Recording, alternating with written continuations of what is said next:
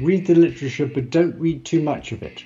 Um, so this is advice I got from my advisor, um, which is very unlike what most people say. Um, most people say you should spend several years reading the literature, and then you should start working on your own, own ideas.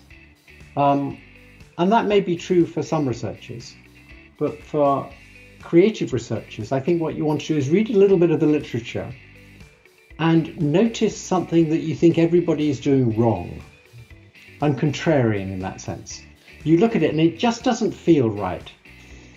And then figure out how to do it right. And then when people tell you that's no good, just keep at it. Um, and I have a very good principle for helping people keep at it, which is either your intuitions are good or they're not. If your intuitions are good, you should follow them and you'll eventually be successful. If your intuitions are not good, it doesn't matter what you you might as well trust your intuitions. There's no point not trusting them. I see, yeah. Listen, you know, I usually advise people to not just read but replicate published papers and maybe that puts a natural limiter on how many you could do because replicating results is pretty time consuming. Yes, it's true that when you try and replicate a published paper, you discover all the little tricks necessary to make it to work.